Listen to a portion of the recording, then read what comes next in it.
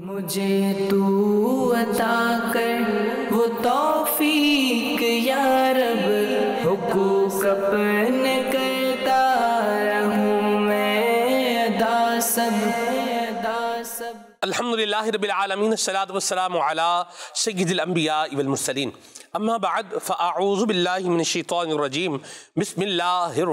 रहीम।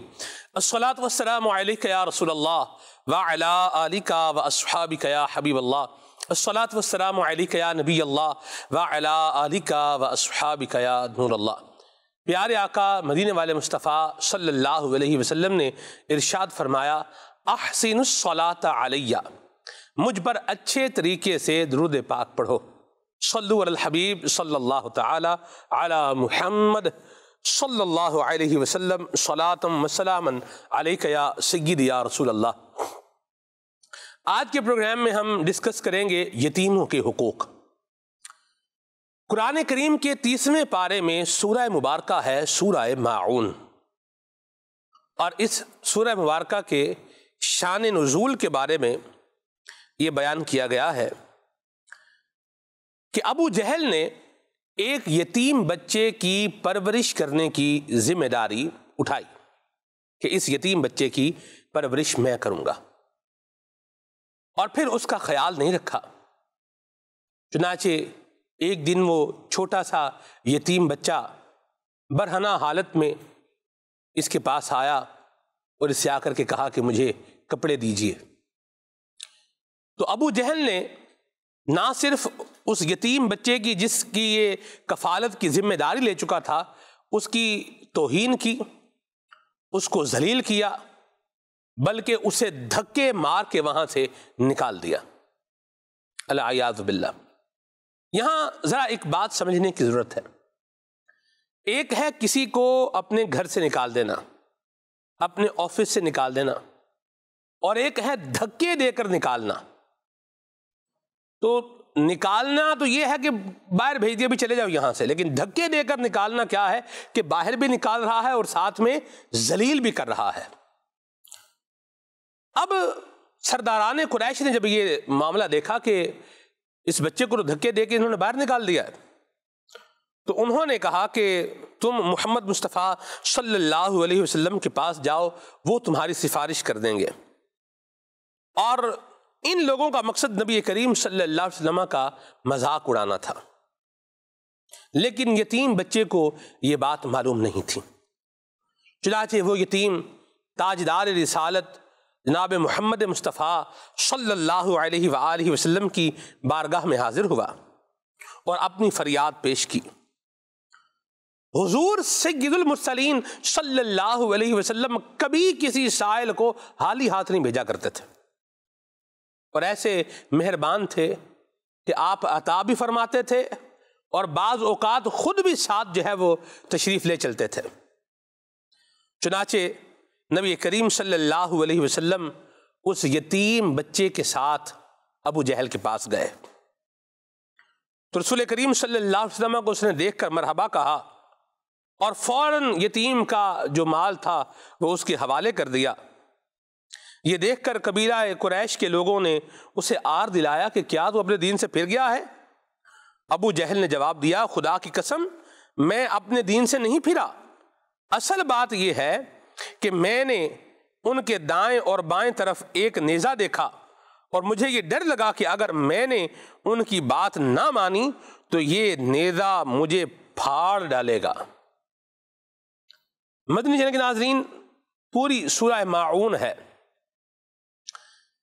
जिसमें अल्लाह तबारक वाली ने यतीमों के हकूक़ को भी बयान फरमाया है और यतीमों के साथ बदसलूकी करने वालों की मजम्मत को भी बयान फरमाया है।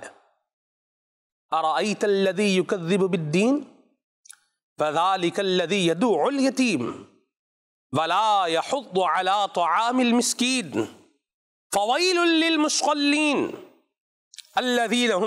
सलातिहिम साहून। अल्लज़ीन हुम युराऊन व यमनऊन अल माऊन पहली तीन आयात को अगर लिया जाए तो फरमाया, भला देखो तो जो दीन को जुड़लाता है। और आगे फरमाया, फिर वो वो है कि जो यतीम को धक्के देता है। और मिस्कीन को खाना देने की रगबत नहीं देता। अल्लाह तबारक व ताली हमें दीन मतीन की जो ज़रूरियात हैं, उन पर कमा हक हो पूरा ईमान रखने की तोफ़ी भी अता फ़रमाए। और इसके साथ साथ अल्लाह तबारक वाली हमें यतीमों के साथ हसन सलूक करने और यतीमों का ख्याल रखने और मस्किनों की इमदाद करने और उन्हें खाना खिलाते रहने की सारत नसीब फरमाए। आमीन। बिजाही तोहा व यासीन। अलही व व तस्लीम। लोग यतीमों का माल क्यों खा जाते हैं? यतीमों का माल खा जाना इसका मतलब क्या है? इन हम ये भी निगरान शुरा से मालूम करेंगे।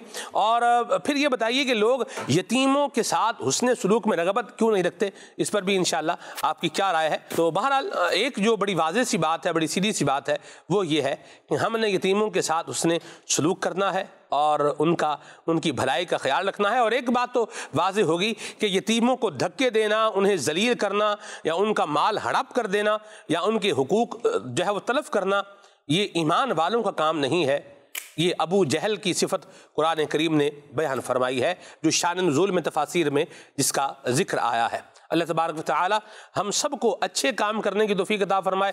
अच्छों के काम इन करीम अच्छे अंजाम को पहुँचाएँगे और अल्लाह करीम की रहमत शामिल हाल रही तो जन्नत में ले जाएँगे। अल्लाह पाक हम सब के हाल पर अपना फजल करम फरमाए। निगरान शुरा हमारे साथ हैं और यतीम भाई साहब, अल्लाह अकबर। आप देखें तो एक यतीम का लफ्ज़ सुनने के बाद जो एक इंसान के जहन में तस्वुर आता है, वह है बेसहारा। क्या ख्याल फरमाते हैं अल्हम्दुलिल्लाह वसलात वसलाम सैदमरसलिन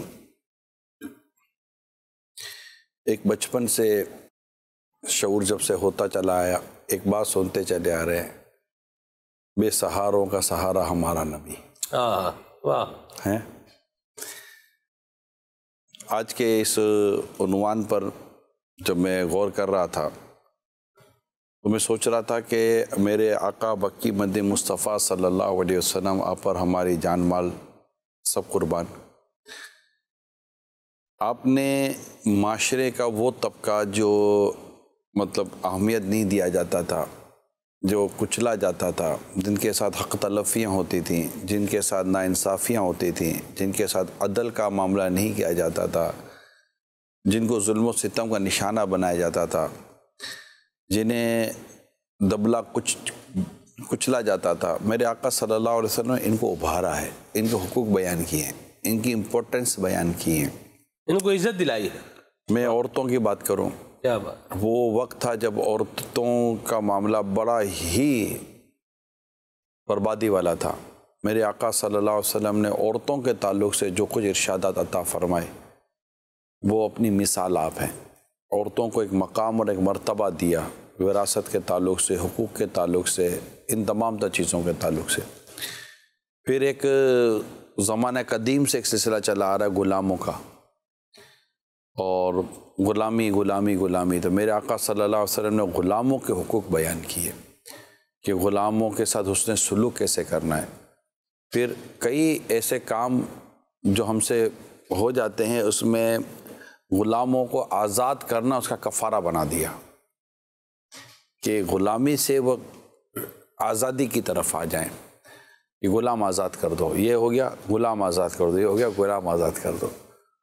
और ग़ुलामों के साथ कैसे काम लेना है, ये भी इंसान है, इनके साथ कैसे बढ़ता। इसी में एक यतीम है।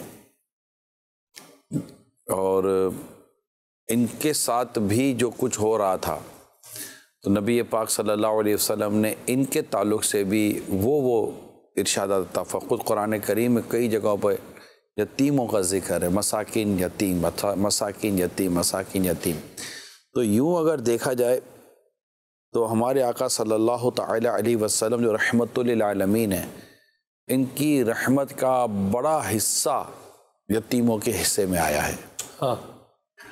कि अब ये चूँकि एक बेसहारा हो जाते हैं तो नबी पाक सल्लल्लाहु अलैहि वसल्लम का इन्हें ऐसा सहारा मिलता है इर्शादात ऐसे मिलते हैं कि आप कईयों को इस बात की तरगीब दिला रहे हैं कि इसका एक तो सहारा चला गया अब जो इसको सहारा देगा वाह। जो इसकी मदद करेगा इसको कैसे सहारा मिलेगा और उसकी कैसे मदद की जाएगी?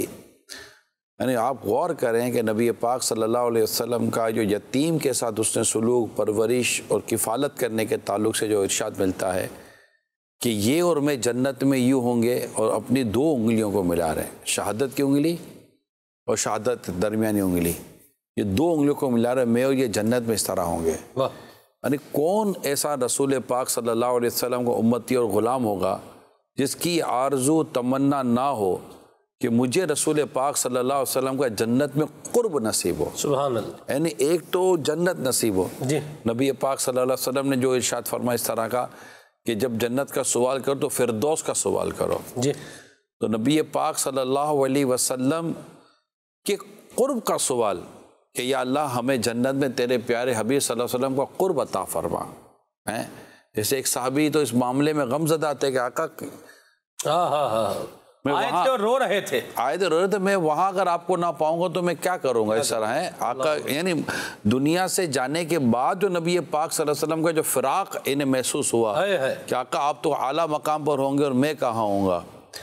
तो ये तो साहबा कराम की एक खूबसूरत और इश्क भरी सोच थी कि आका मैं कैसे आपकी ज्यारत कर सकूँगा और आपके करीब रह सकूँगा? जन्नत में भी यानी हुजूर की रफाकत चाहिए। रफाकत चाहिए। वाह वाह वाह। और सरकार वसल्लम फरमाते सल या रबिया मांग रबिया क्या माँगता है? तो उन्होंने क्या मांगा? जैसे यहाँ कुर्बता किया जन्नत में भी अपना कुर्बता कर दो। साहबा करम अपना आका अलैहि से इनका कुर्ब मांगा करते थे। यहाँ तो कुर्ब की बिशारत नबी पाक सल्लल्लाहु अलैहि वसल्लम खुद अता फरमा रहे हैं। तो जो रसूल पाक सल्लल्लाहु अलैहि वसल्लम से मोहब्बत करते हैं और करते हैं यार। कौन सा उम्मती होगा जो नबी पाक सल्लल्लाहु अलैहि वसल्लम से मोहब्बत ना करे? सैद उमर रदी अन्हु जब एक दफ़ा अर्ज़ की कि या रसूल अल्लाह मैं अपनी जान के अलावा हर चीज़ से बढ़कर आपसे मोहब्बत करता हूँ। आका सल्लल्लाहु अलैहि वसल्लम ने कुछ यूँ इरशाद फरमाया कि तुम्हारा ईमान उस वक्त तक कामिल नहीं हो सकता जब तक तुम मुझ, मुझे अपनी जान से ज़्यादा ना चाह लो। उसके फ़ौरन बाद हज़रत उमर रदी अर्ज़ करते हैं या रसूल अल्लाह मैं अब आपको अपनी जान से बढ़कर आपसे मोहब्बत करता हूँ। तो इरशाद फरमाया हाँ उमर अब यानी कि अब आपका ईमान उस दर्जे को पहुँचा। तो ये जो कुर्ब रसूल है ना यानी मैं क्या इसमें ज़्यादा आपसे बात करूँ? आप और मुझमें हम में से कौन है जो कुर्ब रसूल का और मोहब्बत रसूल का और इनायत रसूल का करम रसूल का तालिब नहीं है। सरकार तवज्जो फरमाए। आका हम पर निगाह करम फरमा दें। अल्लाह हमसे राज़ी हो जाए, या अल्लाह तो हमसे राज़ी हो जाए, या अल्लाह हमसे राज़ी हो जाए, या अल्लाह हमसे अल्लाह ऐसा राज़ी जो कभी नाराज़ ना होना। बंदा का यतीमों के ये सारे बयान पढ़ लेता ना हुकूक इनकी परवरिश के ताल्लुक से इनके हसन सलूक के ताल्लुक से इनकी मालों की हिफाजत के ताल्लुक से इनके साथ नरमी के ताल्लुक से इनके साथ जो कुरान और हदीस में जो इनके हक़ अदा करने के ताल्लुक से जो कुछ बयान हो अगर ये बंदा पढ़ ले मैं कहता हूँ यतीम ढूंढे यानी खैर वाला भलाई वाला खूबसूरत घर वो है जिसमें यतीम के साथ उसने सलूक किया जाता है और बुरा घर वो है मुसल मुसलमानों में हाँ? मुसलमानों में भलाई वाला अच्छा घर वो है, जिसमें यतीम के साथ अच्छा सलूक होता है, और मुसलमानों के घरों में बुरा घर वो है, जिसमें यतीम के साथ अच्छा सलूक नहीं किया जाता, बुरा सलूक किया जाता है। तो अल्लाह पाक और उसके प्यारे रसूल रसूल मकबूल सैदा आमना के गुलशन के महकते फूल, सल्लल्लाहु अलैहि वसल्लम की मीठी मीठी, प्यारी प्यारी तवज्जो का जो तालिब होगा, यकीनन बिल यकीन, वो अपने खानदान में अपने घर में तो यतीमों के साथ उससे सुलूक करेगा करेगा। मैं कहता हूँ वो यतीम ढूंढेगा वाह। कि एक शख्स बार का रिसालत में हाजिर होकर अपनी सख्त दिली की शिकायत करता है। यानी या रसूल अल्लाह मैं उसके दिल को महसूस कर वो अर्ज़ करता है कि मेरे दिल में सख्ती है। तो रसूल पाक सल्लल्लाहु अलैहि वसल्लम ने दिल को नरम करने का जो मदनी नुस्खा अता फरमाया प्यारा नुस्खा अता फरमाया वो ये है कि यतीम के सर पर हाथ फेरो अल्लाह ताला इसे दिल नरम कर दे। अल्लाह अल्लाह अल्लाह।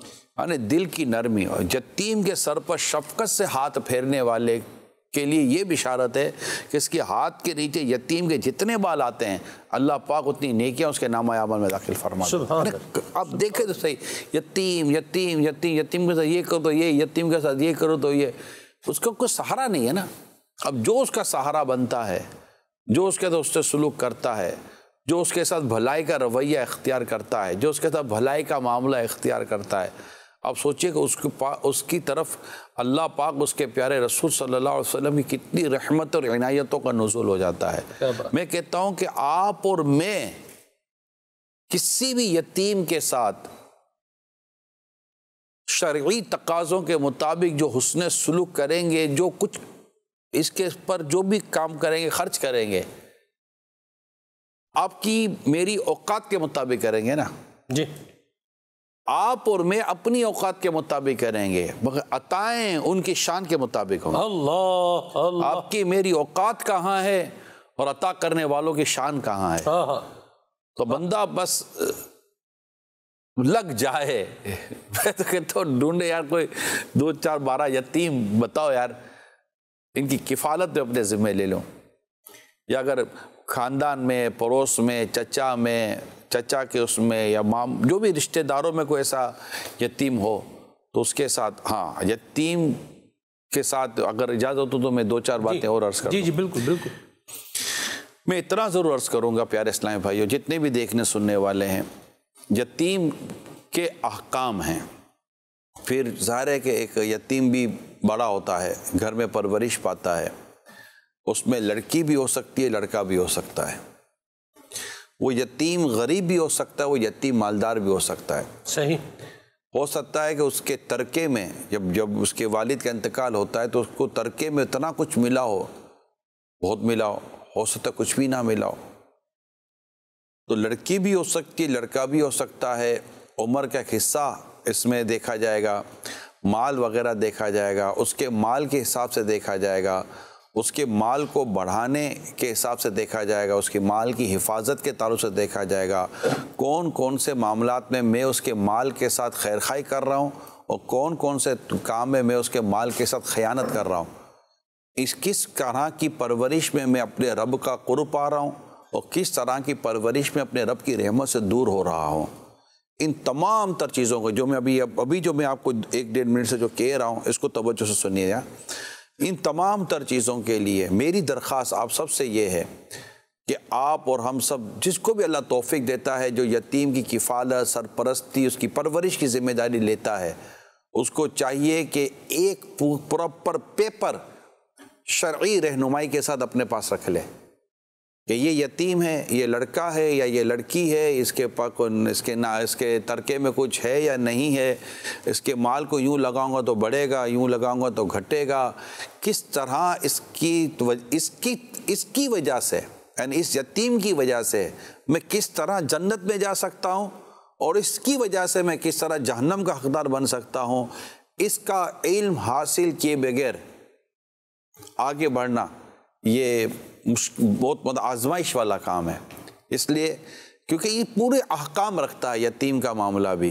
पूरे अहकाम रखता है, पूरे शर्ई उसूल रखता है, हराम और हलाल, जायद और नाजायज़, जन्नत और जहन्नम, ये सब इसके अंदर मतलब पूरे अहकाम और ये बातें मौजूद हैं। तो आप सबसे मेरी ये दरख्वास्त है कि जो भी इस काम में आगे आता है, आना चाहिए, बढ़ चढ़ कर आना चाहिए। अल्लाह और उसके रसूल की तरफ़ से ज़बरदस्त अहकाम तरगीब और सवाब और बहुत कुछ इसमें मौजूद है। बढ़ चढ़ कर करना चाहिए। ऐसा करना चाहिए कि यानी कि यूँ समझिए कि मतलब मसाइल ही गोया कि किसी हद तक कम हो जाए या हल हो जाए। लेकिन इल्म के बगैर करना ख़तरे से खाली नहीं है। ठीक। नमाज़ इल्म के बगैर पढ़ते हैं तो नमाज़ में मसाइल हैं। जी। हुजूर ने खुद फरमाया कि मकाम पे। एक बंदे ने हुजूर के सामने नमाज़ पढ़ी। हुजूर ने फरमाया सल्ली।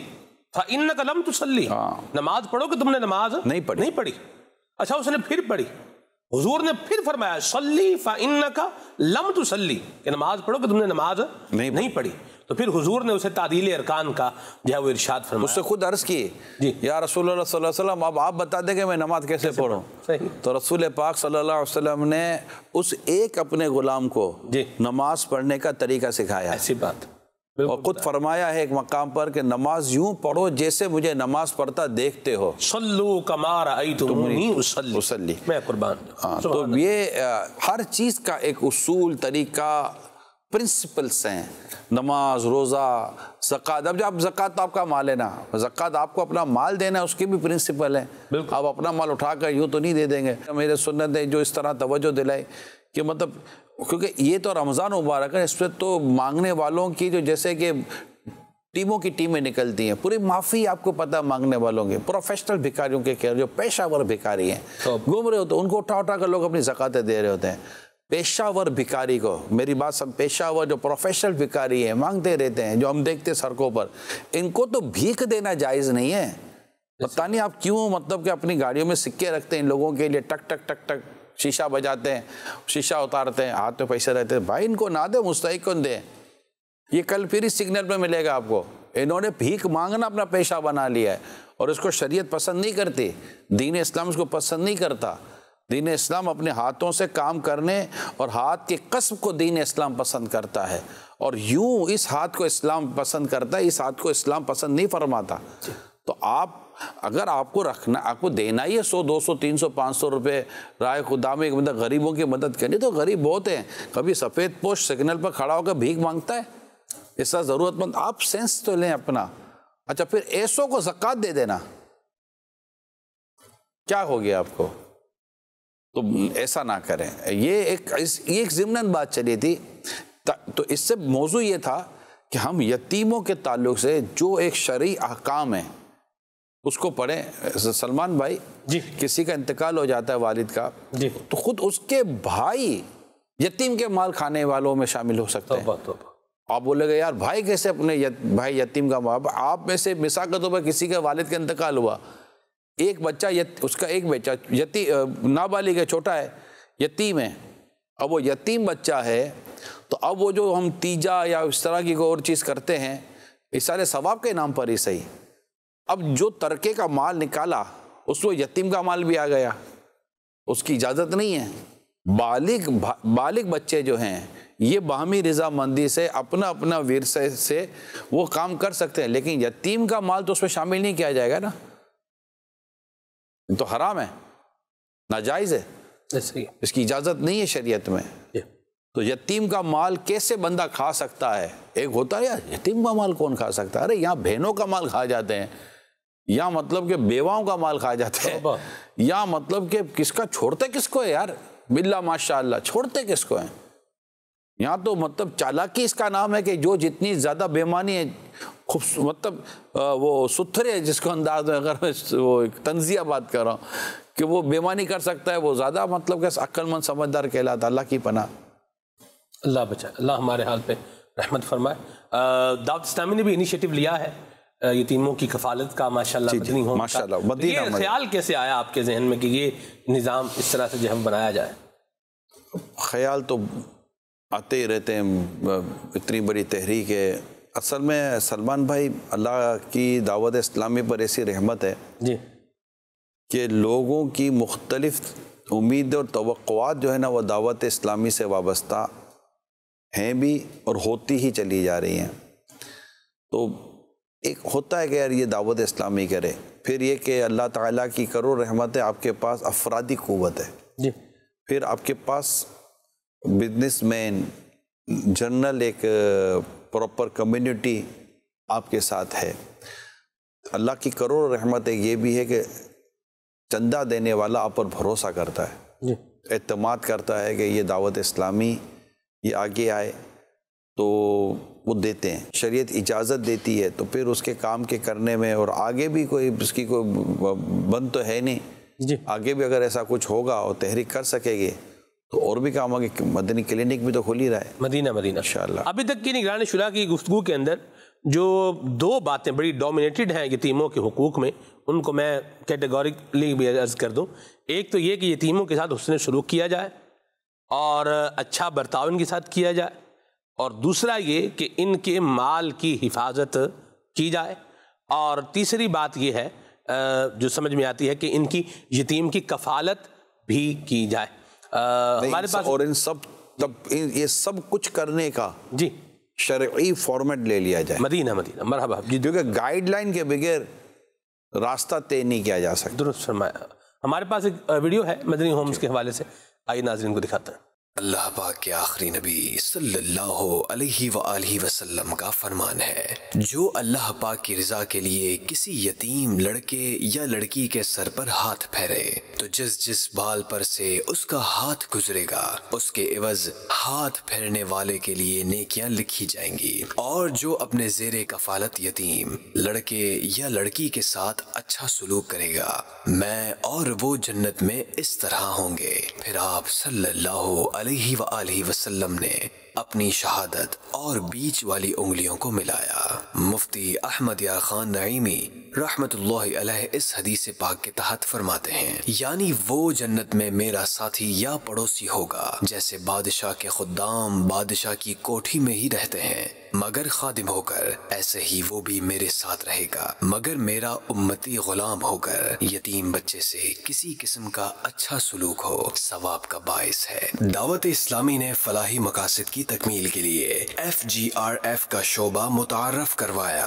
अब अल्हम्दुलिल्लाह, इसी नेटवर्क को मजीद वसी करते हुए दावत इस्लामी, उसके तहत लावारिस और यतीम बच्चों की कफालत के लिए एक केयर सेंटर यानी यतीम खाना, कायम कर रही है। अमीर आल सुन्नत दामद बरकातुहुमुल आलिया ने उसका नाम मदनी होम तजवीज किया है। दावत इस्लामी के इस शोबे मदनी होम में यतीम बच्चों, नीज, वो बच्चे जो किसी हादसे या आफत की वजह से अपने वालिदैन को खो चुके हैं और उनके रिश्तेदार उनकी कफालत को तैयार नहीं, उनकी कफालत की जाएगी। अल्लाह खाने, पीने, रिहाइश और बुनियादी जरूरतों का इंतज़ाम किया जाएगा। उसके साथ साथ उनकी दीनी और दुनियावी तालीम और तरबियत का सिलसिला होगा। नीज, उन्हें ऐसे स्किल्स भी सिखाने की कोशिश की जाएगी, जिनकी बदौलत वो बजाते खुद हलाल रोजी कमा सकें।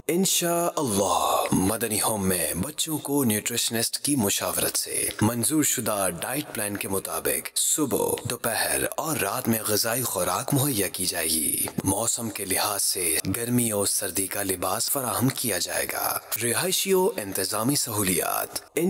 अल्लाह मदनी होम में बच्चों को बेहतरीन सहूलियात मुहैया की जाएँगी। कुशादा रूम के साथ साथ सोने के लिए बेड फराहम किया जाएगा। रिहाइश तालीम के लिए कुशादा माकूल मौसमी कंट्रोल और सूरज की रोशनी के साथ साथ मुमकिन हद तक कुदरती आफात से मुजाहिम बिल्डिंग फराहम की जाएगी, जहाँ 24 फोर आवर्स सिक्योरिटी के लिए चौकीदार, बच्चों की देखभाल के लिए नाजमीन, खादमीन और बाकायदा तरबियत याफ्ता स्टाफ इस किराम मौजूद होंगे। नीज मॉनिटरिंग टीम उनकी सहमाही। शशमाही और सालाना कारकर्दगी का जायजा लेगी। और इसी तरतीब से उनकी तरबियती वर्कशॉप्स भी लाजमी होंगी। मदनी होम में डॉक्टर्स मेडिकल ट्रीटमेंट और फार्मेसी की सहूलत भी मौजूद होगी। सफ़ाई और हिफजान सेहत के माहौल को बरकरार रखने पर खसूसी तवज्जो दी जाएगी। नीज इंतजामिया हर बच्चे की सेल्फ रिस्पेक्ट को यकीनी बनाते हुए उनकी जाती हिफान सेहत को मॉनिटर करेगी। तालीम अखलाकी सहूलियात। अल्लाह मदनी होम में बाकायदा बच्चों की दीनी और दुनियावी तालीम का इंतज़ाम किया जाएगा। दीनी तालीम में इब्तदान कायदा, नाजरा कुरान पाक हिफ्ज कुरान और कुछ समझदार होने की सूरत में दरस निज़ामी, यानी आलिम कोर्स की तालीम दी जाएगी, जबकि दुनियावी तालीम दारुल मदीना के निसाब के मुताबिक दी जाएगी। मदनी होम में बच्चों की सोचो आदात का मुशाहदा करके, तीन यानी तालीमी, जहनी और जिस्मानी जहतों में से किसी में उनकी तरजीहत को जानने की कोशिश की जाएगी। तालीमी रुझान रखने वाले बच्चों को दीनी और दुनियावी तालीम के लिए मुंतखब किया जाएगा। मदनी होम का जो भी बच्चा गैर मामूली तालीमी सलाहियतों का हामिल होगा। तो उसकी सलाहियतों को पेश नज़र रखते हुए, आला दीनी या दुनियावी तालीम के लिए भी उसे मौका फराहम किया जाएगा। इस सिलसिले में जो भी अखराज होंगे, मदनी होम की इंतजामिया बर्दाश्त करेगी। दावत इस्लामी के मदनी होम से फारग तहसील हफाज और कारी साहिबान को तरजीही बुनियादों पर दावत इस्लामी के किसी शोबे में जॉब दी जाएगी। जो बच्चे तालीमी लिहाज से कमज़ोर हुए, उनको स्किल सिखाने के साथ साथ किसी अच्छी जगह जॉब पर लगवाने का इंतज़ाम किया जाएगा। नीज सेटल होने तक उनकी रिहायशो ताम का मदनी होम में इंतज़ाम होगा। मदनी होम में मुकीम तलबा को, उनके वतन और उसकी अमलाक से मोहब्बत, उसमें रहने वालों का एहतराम, उसकी बेहतरी और खुशहाली के लिए तगो दो करने वाला बनाया जाएगा। उनकी इस अंदाज से तरबियत की जाएगी कि मदनी होम से फारिग होने के बाद इस मुआशरे का एक सुलझा हुआ और बावकार फर्द शुमार किया जाए। मदनी होम में आने वाले बच्चों को हतल इम्कान, हाफिज कुरान, आलिम दीन और मुफ्ती इस्लाम बनने की जानब रागब किया जाएगा। लेकिन अगर उनका इन शोबों की जानब मिलान नहीं तो ऐसी सूरत में उनके करियर के मुख्तलिफ़ ऑप्शन के बारे में रहनुमाई की जाएगी। बहरहाल, किसी भी फ़ील्ड में जाएँ, दीन मतीन की खिदमत करें। दावत इस्लामी के दीनी कामों से मुंसलिक रहें। दुखियारी उम्मत की खिदमत में हमारे साथ मिलकर ताउन करें। और वली कामिल, अमीर अहल सुन्नत, दामद बरकत आलिया की दुआ से हिस्सा पाए। माशा ये कोशिश है अल्लाह ने चाहा, जो कुछ आपने अभी सुना, बयान, ये मकासद हैं ये नीयतें हैं। अब ज़ाहिर है कि इन सबको पूरा करने के लिए पूरी एक टीम मजलिस शोबा फाइनेंस बहुत कुछ इसकी ज़रूरत पड़ेगी। तो आप भी दुआ करें अल्लाह पाक हमें हमारे नेक व जायज़ मकासद में कामयाबी अता फ़रमाए। अच्छा ये एक तो आपने अभी देखा जो कराची में यहाँ पर नॉर्थ नाजमाबाद की तरफ़ या ना, क्या नाजमाबाद की तरफ़ है? नॉर्थ कराची हाँ नॉर्थ कराची की तरफ़ ये जो हमारा बन रहा है तो ये एक तो इसको आप कहते हैं पायलट प्रोजेक्ट कि एक लिया जाए और उसके बाद देखा जाए कि हम कैसे चला सकते हैं। तो फिर उसके बाद ये इन ताला मुल्क और बैरून मुल्क ये सेंटर कायम किए जाएँगे इन शजल इन कौन देते हैं फिर आगे बढ़ते हैं। आजकल देखने में आया है कि कोई यतीम हो तो वो इस बात को कैश करवाता है। अगर स्टूडेंट है तो टीचर से हमदर्दी लेगा, उसको अपने मार्क्स बढ़वाएगा। तो यतीम को क्या क्या बातों का ख्याल रखना चाहिए? असल में अगरचे बाद सूरतों में इन कुछ का ये अमल पसंदीदा नहीं मालूम होगा, बात दुरुस्त है। लेकिन अब ज़ाहिर है कि वो इतनी बड़ी उम्र का तो होता नहीं कि बहुत ज़्यादा ये सब कुछ कर ले।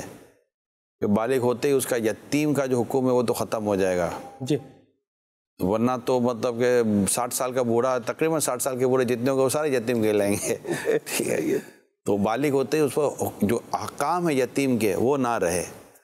लेकिन मैं इसको यूँ थोड़ा सा देख रहा हूँ कि हमारे यहाँ अगर पहले से ही चीज़ें दुरुस्त हों इजारे के तौर पर, मजदूरी के तौर पर, उनके स्किल के मतलब अखराज के तो इस तरह यतीमों के साथ जो कुछ अंदाज इख्तियार करना चाहिए। शुरू से अगर हमारी सोसाइटी में वो चीज़ हो तो शायद इन्हें इस तरह लाइन क्रॉस करने की ज़रूरत भी ना पड़े। ताहम, मैं ये गौर कर रहा हूँ चंद दिनों से, मेरी मुशावरत भी चल रही है। आप नाजरीन को भी शायद इस बात से इतफ़ाक़ हो जाए। कि सलमान भाई जो जो शोबे हम बयान करते हैं, इन तमाम तौर शोबों में हम यह बयान तो कर रहे हैं। अभी आधे घंटे के बयान से कोई बहुत बड़ा रेवोल्यूशन तो नहीं आ जाएगा ना? सबकी वर्कशॉप होती है। हमारे यहाँ लेबर को कैसे होना चाहिए? हमारे यहाँ दीगर मुलाज कैसे होना चाहिए? हमारे बड़ी बड़ी मल्टीनेशनल बड़ी कंपनियों में जो एम्प्लॉयज़ होते हैं, उनकी तरबियत के होते हैं, वो काम वगैरह करते लेकिन एक जनरल पब्लिक का एक बाकायदा तरबियत का निज़ाम होना चाहिए। शादी से पहले लड़के और लड़कियों की तरबियत का निज़ाम होना चाहिए। इवन कि वालदेन को कैसे अपनी औलाद के साथ रहना चाहिए, इस, इसका पूरा कोर्स तरबियत का निज़ाम होना चाहिए, बेटियों के ताल्लुक से तरह यतीमों के ताल्लुक से सोशल रिस्पॉन्सिबिलिटीज़ के ताल्लुक से सिविक सेंस जिसको हम कहते हैं, उसको कैसे इस्टेब्लिश उसको कैसे डेवलप किया जाए, इसके ताल्लुक से अगर आप गौर करेंगे जो मैं कह रहा हूँ तो कुरान, हदीस अकबाल सहाबा और बुजुर्गान दीन के इर्शादात और दीगर फ़िक्की किताबों में और तफासिर में, शुरुआत में और दीगर किताबों में इसकी तफसील मौजूद हैं और तरबियत के पॉइंट्स मौजूद हैं। अगर कोई इससे निकाले और माशरती तौर पर प्रैक्टिस मौजूद है तो तजर्बात मौजूद हैं। निकाला जाए और इसको लिया जाए ना तो इन ताला उम्मीद है कि यतीमों के साथ उसने सलूक और इसके अलावा जो जो हमारे प्रॉब्लम्स हैं वो तरबियत से हल होंगे। वजक की समझाओ का समझाना मुसलमानों को फ़ायदा देता है। जी कौन? आज का जो सिलसिला यतीमों के हकूक के हवाले से जो बयान किया जा रहा है बहुत ही प्यारा सिलसिला लेके आए हैं। लेकिन निगरान शुरा की बारगाह में अर्ज़ ये है कि आज के दौर में फ़ी जमाना यतीम किसको कहते हैं? जो भिकारी मांगने वाला नज़र आता है वो यतीम ही बना हुआ होता है। तो हमें कैसे पता चले कि यतीम कौन है? देखो यतीम जैसी शक्ल बनाना अलग बात है। तो यतीम तो जिसके वालिद का इंतकाल हो जाए और वो नाबालिग है। जी। वो यतीम है। और बालिग होते वो यतीम नहीं रहेगा। ये याद रख लीजिएगा। ठीक है। यही हुक्म है। बिल्कुल यही है। दुरुस्त फरमाया। जी कौन? लोग यतीम की कफालत क्यों नहीं करते? ये इसलिए नहीं करते कि बाद इंसान, बल्कि मैं तो यूँ कहूँगा कि अगर सत्तर फ़ीसद इंसान जो मुसलमान है ना, वो जिसका अगर बाप फोत हुआ हो, वो अपने आप को भी यतीम कहलाता कहता है, ए भी यतीम है तो मैं भी यतीम हाँ। तो मैं दी कफालत करांगा तो मेरी कफालत तू करेगा? इस तरह वो टाल देता है। मजीद निगरान शुरा रहनुमाई फरमाए। देखिए, जैसे भलाई का काम करना है ना, उसके लिए मौके बहुत, जिसको नहीं करना उसके लिए बहाने बहुत। बहुत सिंपल सी बात है।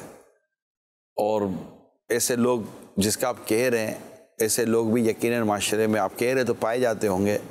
लेकिन ज़्यादातर अगर हम कहें तो यतीमों पर शफकत करने वाले रहम करने वाले यतीम का नाम सुनकर दिल में नरमी पैदा होने वाली कैफियत को महसूस करने वालों की शायद तादाद हमारे माशरे में आई थिंक ज़्यादा है। दुरुस्त फरमाया आपने। और जी। जी इनका जो मुझे कुछ बैकग्राउंड मालूम है कॉलर हैं। इनका ताल्लुक जो है ये सरगोदा, पंजाब से गुजार तैयबा से है। तो हमारे इस तरह से जो देहाती बिलखसूस जो एरिया है, उसके अंदर ये एक सिलसिला कार ये है कि अगर कोई यतीम है तो उसको अगर वो किसी चौधरी साहब के पास आ रहा है या इस तरह आ रहा है तो उसको बाज़ इस तरह की बातें जो है वो सुनने का वो बन जाता है कि मैं भी यतीम ही है तो फिर मेरा कौन करेगा? ये ये बात इस तरह की है। मैं ये, इस कॉल से लेकर के मैं जो बात लेना चाह रहा हूँ वो ये है कि आप, आपकी तरफ़ से एक मैसेज जाए, एक पैगाम जाए कि हमारे पास कोई यतीम आया है, हम जो भी हैं, हम, हमारे पास वसअत है, वसअत नहीं है, हम उसके काम आ सकते हैं, काम नहीं आ सकते, कम अज़ कम उसको जलील तो जो है वो ना करें। इस तरह की बातें करके बाज़ात तो सब मैं आपको क्या बताऊँ बता दो। उसको मज़ाक बना देते हैं और बाकी कह के मार रहे हैं और बंदा बेचारा वो जलील हो रहा है। अब होते हैं बड़े मसाइल हैं इसके भी। अल्लाह जो है वो रहमत फरमाए। तो इस पॉइंट पर जो है वो बिलखसूस मैं समझ रहा हूँ। आपकी तरफ़ से बात में हल वही नहीं है जो मैंने थोड़ी देर पहले आपको अर्ज़ किया है। गाँव देहात शहर कोई भी हो तरबियत ये मुझे तो सबसे बुनियादी हल इस पूरे माशरे के जितने भी बिगाड़ हैं जी। इस पूरे माशरे के जितने बिगाड़ हैं जी। इन सब का मुझे बुनियादी हल जो नज़र आया है वो तरबियत में नज़र आया है। जी। हमारा या जो इस तरह काम कर सकते हैं हम सब का उन उन जगहों पर जाना जी। उन्हें जमा करना उन्हें मुख्तलिफ़ मौजूद पर उनकी तरबियत करना अच्छा इस्लामी बहनें पर्दे की हालत में हों तो वो भी शरी तकाज़ों के साथ उनका उनकी तरबियत का होना। जब तक कि ये हम चेन चलाएँगे नहीं मस्जिद के मिम्बर महराब से मैं नहीं कहता कि प्रॉपर बयान नहीं होते होंगे लेकिन इसको मज़ीद बेहतर करने की भी हाजत हर दौर में रहेगी। जी।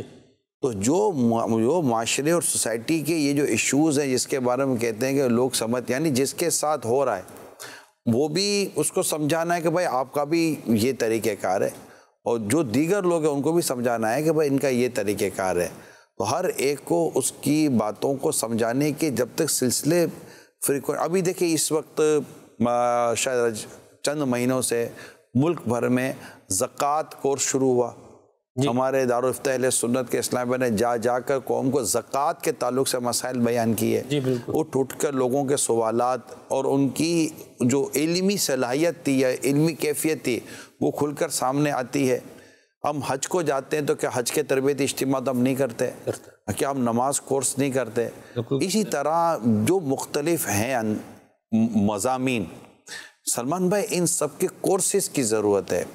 और मदारस में भी मसाजिद में भी स्कूल में कॉलेज में यूनिवर्सिटी में तमाम तर जगहों पर हती के जब इतनी हद तक कौम को पता चल जाए कि वालिदैन को इतनी नॉलेज हो जाए कि वो अपनी औलाद को घर बैठे अब ये सारा डिलीवर कर सकते हैं तो वक्त लगेगा नबी पाक सल्लल्लाहु अलैहि वसल्लम की सीरत पर जो किताबें लिखी गई। हैं इनमें एक बात ये भी लिखी गई है रसूल पाक सल्लल्लाहु अलैहि वसल्लम ने ख़ास कर जिस काम को बहुत ज़्यादा जिसको हम कह सकते हैं कि आपने जिस पर तवज्जो फरमाई वो तरबियत थी। बिल्कुल ऐसा ही। तो अगर हम तरबियत के बगैर कहते हैं ना वो अंधेरे को मत कोसो चराग को दुरुस्त कर लो। दुरुस्त तो हर चीज़ तरबियत मांगती है यार। मतलब कि अगर आप बगैर तरबियत के दर्जी के हाथ में भी कपड़ा दे दोगे तो वो तो कुर्ते का पजामा ना पजामे का कुर्ता ही बना कर देगा। क्या का क्या करके दे देगा? तो ये चीज़ है। अल्लाह रहमत फरमाए। कॉल शामिल करते हैं।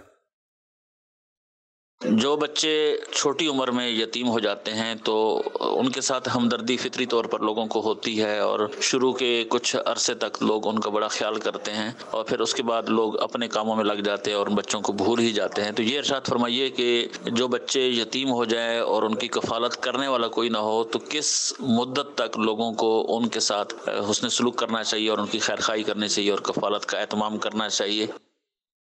देखिए, इदारे भी आशिकान रसूल का अगर ऐसे बने हुए तो उनके ज़रिए भी काम लिया जा सकता है। और मेरा ख्याल है मिलजुल कर इस तरह की चीज़ें कम्युनिटियाँ भी करती होंगी।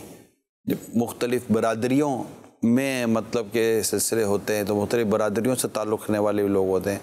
तो कम्यूनिटीज़ वगैरह भी होती हैं, बरदरियाँ होती हैं, वो भी शायद करती होंगी। और फिर अगर लगता है कि कहीं भी नहीं तो कुछ कुछ महल्ले वाले, इलाका वाले मिलकर काम करें। इसका कोई मुस्तकिल ऐसा इंतज़ाम हो जाए उसकी तालीम का, उसकी तरबियत का, उसके हुनर का, ताकि वो, जब वो बड़ा भी होने के बाद वो मांगे ना, उसकी खुददारी कंप्रोमाइज़ ना हो। तो ये जो सोसाइटी की जो रिस्पॉन्सिबिलिटी हैं तो सिविल सोसाइटी से रिलेटेड जो लोग, उमूमन ये जो काम कर रहे होते हैं वेलफेयर के ताल्लुक से या इस तरह की फलाई कामों के ताल्लुक से, उनका भी काम है कि वो इस तरह अपने अपने इलाकों में इस तरह के अगर वाक़ात होते हैं तो उन्हें कैसे देखना है। बेसिकली तो ये एक रियासती भी ज़िम्मेदारी होती है। हज़रत उमर बिन अब्दुल अज़ीज़ रज़ी अल्लाह तआला का दौर खिलाफत जब हम पढ़ते हैं तो क्या मतलब आपके दौर खिलाफत में तो मैंने यहाँ तक पढ़ा है कि जिनके कर्जे थे ना, यानी जो ज़रूरतमंद थे, जिन्होंने वाकई सही कर्जे लिए थे, और उनके कर्जे नहीं उतर रहे थे तो सईद उमर बिन अब्दुल अज़ीज़ के दौर खिलाफत में उनके कर्जे उतरवाए गए थे। आपको यकीन आएगा? जी हाँ। कर्जे उतारने में उस वक्त के मतलब कि हुकूमत ने ताउन किया था। हज़रत उमर बिन अब्दुल अज़ीज़ रदी अल्लाह ये इस्लाम के पहले मुजद्दिद हैं इनका शुमार खुलफा राशिदीन में भी किया जाता है। इनकी खिलाफत खिलाफत राशिदा में शुमार की हाँ। जाती। है ऐसा ही अल्लाह बरकत दे आपको। तो एहसास कमतरी से अगर कोई बच्चा जो है जिसके वाल साहब नहीं हैं और अब वो एक जो है वो सिने शूर को पहुँचा हुआ है यानी एक अच्छी जो है उसकी उम्र अभी हो गई है तो एहसास कमतरी का बाज़ का जो है वो शिकार होता है। इससे अपने आप को कैसे निकालेगा? मैं वही जो अब दोबारा उसी तरफ़ आएँगे कि जब बच्चा यतीम है जी। तो उसकी परवरिश ग्रेजुअली हो तो रही है ना? जी। तो उसके अंदर कॉन्फिडेंस पैदा किया जाए उसके अंदर ये एहसास पैदा किया जाए कि ये जो आपके साथ हो रहा है ये करने वाला अल्लाह उसके रसूल की रज़ा के लिए कर रहा है सवाब के लिए कर रहा है उसको करना है। वो ये हमारी जिम्मेदारियाँ हैं जो हम आपके साथ ये उसने सलूक कर रहे हैं। और उसको आहिस्ता आहिस्ता उसकी दीनी और दीगर तालीम और तरबियत के साथ उसको लेकर चला जाए तो ये माशाल्लाह कई ऐसे आपको माशरे में वेल इस्टेब्लिश लोग मिलेंगे कि जो शायद यतीमी की ज़िंदगी से चले थे। वालिद साहब दो तीन साल की उम्र में इंतकाल कर गए होंगे। अच्छा फिर वालिद साहब चले गए तो माँ तो होती है ना। जी। माँ होती है या बाद वक़्त भाई होते हैं ऐसा तो ऐसा भी हर जगह नहीं होता कि एक यतीम बच्चा है ही बिल्कुल बेयार मदद का ठीक। क्योंकि उसकी माँ भी ज़िंदा है जी। उसकी बहनें भी हैं और उसके भाई भी हैं। सही। तो ऐसा नहीं होता कि हर यतीम बेयार मददगार होता है। ठीक। कई यतीमों के पास जिनके वालिद साहब का तरका देखो तो वो तरका लाखों करोड़ इनका तो मतलब तरका करोड़ों में होता है बादों को उसके हिस्से में जो विरासत आती है वो मतलब कि ठीक ठाक विरासत होती है ठीक। तो फिर अब उनकी जिम्मेदारियाँ हैं चाहे वो फैमिली मेंबर हैं या बाहर के हैं उसके माल की हिफाजत करना अब उनकी ज़िम्मेदारी बन जाती है ठीक। तो ऐसा बिल्कुल नहीं है कि हर यतीम जिसका हम यतीम कहें वो वो मतलब के बिल्कुल गरीब और मिस्कीन और बिल्कुल बेयार और मददगार हो ऐसा भी नहीं नहीं होता। कई हो क्या होता है कि बच्चा लड़का तीन साल का चार साल का है और वालिद साहब का इंतकाल हो गया हार्ट फेल हो जाता है एक्सीडेंट हो जाता है कई और असबाब बन जाते हैं मौत के तो उनके पास होता है लेकिन नहीं भी होता। ऐसा भी होता कुछ भी नहीं होता। बसा अवकात माँ बाप का एक साथ हादसा हो जाता है तो बच्चा तो बिल्कुल सड़क पर आ जाता है। तो ये यूँ मतलब कि जो हमें हमें गौर करने की ज़रूरत है। मरहबा। एज ए होल जो सोसाइटी के जो लोग होते हैं हम सबको इस पर गौर करने की ज़रूरत है। ठीक है। सब एक है यतीम का माल खा जाना। कुरान करीम ने कहा कि वो लोग जो यतीमों का माल खा लेते हैं ये वो हैं जो अपने पेट में जो है वो आग भर रहे हैं जहन्नम की आग भर रहे हैं। तो मैं चाह रहा हूँ आप इस पर थोड़ा गुफ्तगू फरमाएँ कि ये यतीम का माल खा जाने से क्या मुराद है? इसको जैसे मैंने एक वालिद का इंतकाल हो जाए तो तीजे और दिगर ताल्लुक से मैंने अर्ज़ किया। तो ऐसे ही कई चीज़ें ऐसी बन सकती हैं कि आदमी समझेगा कि यार ये माल मेरा है या उसको उसको विरस अमूमन तो ये ज़्यादातर तो तब होगा जब उसकी विरासत खा जाएँगे। सही। यानी ये वो लोग हैं कि शायद उन्हें ख्वाब में भी नहीं आता होगा कि हम यतीम बच्चे का या यतीम भाई का माल खा गए जबकि वो यतीम का माल खाने वालों में शामिल होंगे। सही। विरासत में जो उसका हिस्सा बनता है उसकी फिर हिफाजत भी की उसकी हिफाजत की जाए। उसको अगर बढ़ाने के लिए और उसको बेहतर करने के लिए इकदाम किए जाएँ तो मैं समझता हूँ शायद किताबों में लिखा इसकी इजाज़त है। जी बिल्कुल। और इस पर वही जो आपने बात की थी शरीर रहनुमाई ले ले कि कौन सा ये ये बुनियाद है। देखो अजी शादी करनी है जो भी काम करना है ना जी। आपको जो भी काम करना है उस काम का जो रोड मैप है ना वो आपको शरीयत दे देगी। सुबह अल्लाह अल्लाह अल्लाह हमें भी जो है वो दीन मतीन के हकामात पर अमल करने वाला बनाए। देखिए किताबों में तो इस तरह लिखा हुआ है कि जिस तरह अपने सगी औलाद के साथ सलूक करता है ना ऐसे यतीम बच्चों के साथ करे। हाँ हाँ अल्लाह बल्कि मैं तो ये अर्ज़ करूँगा जैसे बढ़कर करे क्योंकि बच्चों को वो आपके सगे औलाद को वो एहसास नहीं होगा जो इस बच्चे को एहसास होगा। तो उसे इस एहसास से दूर रखने की आप अपनी ज़िम्मेदारी पूरी करें। और बकिया ये कि अगर उनको लगता है कि हमारे साथ वैसा सलूक नहीं हो पा रहा जैसा कि होना चाहिए था तो मेरी उनसे दरख्वास्त है कि बेटा सब्र करें। अल्लाह पाक अच्छे दिन भी लाएगा। और, जिनके साथ अच्छा सलूक हो रहा है और बेहतर अंदाज से माशाल्लाह उनकी सारी मामला दुरुस्त हो रहे हैं तो वो जो जो आपकी खैर ख्वाही कर रहे हैं, आपके साथ आपकी किफ़ारत कर रहे हैं, परवरिश कर रहे हैं, बेटा हमेशा उनको दुआ में याद रखें। और उनके साथ हसन सलूक करें और उनके एहसान को कभी भी मत भूलें कि अल्लाह उन्होंने अगरचे सवाब के लिए क्या होगा लेकिन हमें उनके साथ ज़िंदगी भर वफ़ा निभानी है। और उनके साथ हसन सलूक करना है कि ये वो लोग हैं जिन्होंने उस हालत में मेरा हाथ पकड़ा कि जब मेरा हाथ पकड़ने वाला कोई भी नहीं था। तो इन ताला जब ये दोनों तरफ़ से चीज़ें होंगी ना। तो बहुत सारे गैप्स ख़त्म हो जाएँगे। मरहबा। और हर बात को कंपेयर कंपेरिजन मोड पे भी ना लेके जाए ना। हर बात पे जो है वो कंपेयर कर रहे हैं अपने आप को दूसरों से कंपेयर कर रहे हैं। और साथ में जो तवक्कुआत का जो ख्वाहिशात का जो लेवल बढ़ा रहे हैं तो ये भी तो परेशानियाँ ही लेकर शुरू से ही तरबियत करनी पड़ेगी वरना बच्चा बच्चे को देखकर तो सग, बेटा एक बाप के दो बेटे हैं जी। और उसमें भी बाप डिसबैलेंस हो जाए तो बच्चा महसूस कर रहा होता है। तो जिसका तो बाप ही नहीं हो तो ज़्यादा महसूस करेगा। ऐसी बात। ये तो एक बात चीज़ें नेचुरल हैं। बात चीज़ें नेचुरल है वहाँ ज़्यादा एहतियात करनी पड़ती है। जैसे बेटियों के मामले में भी फरमाए ना कि इन्हें पहले दो। हाँ जी। है? हाँ जी। क्योंकि इनका दिल थोड़ा है। तो आप सोचो कि यतीम का दिल कहाँ खड़ा हुआ होगा? अल्लाह अल्लाह अल्लाह ताला हमें यतीमों के साथ हुस्न सलूक करने की तौफीक अता फरमाए। वक्त जो है ये इख्तिताम को पहुँचा। इजाज़त देते हैं। सल्लु हबीब सल्लल्लाहु ताला मुझे तू अता कर वो तौफीक